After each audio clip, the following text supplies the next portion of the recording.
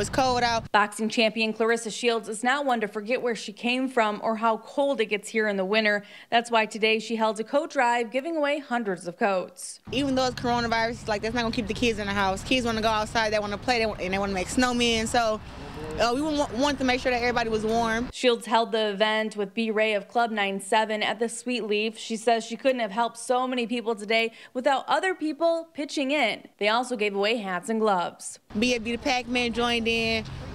The rapper uh, Richie Reed joined in and gave out, uh, donated 100 coats. And I think we're going to give, give away almost, I don't know, 400, 500 coats today. Shields also took time to sign autographs for her youngest fans. As for what's next, she says she's about ready to jumpstart into 2021 in boxing and mixed martial arts. Well, as you guys know, I am now a boxer slash MMA fighter. I'm looking forward to having my first fight of the year, probably February, March. And um, I'll be having my first MMA fight in June. So I'm just all over the place training. I fly to Albuquerque in three days. In Flint, Rachel McCrary, WNEM, TV5.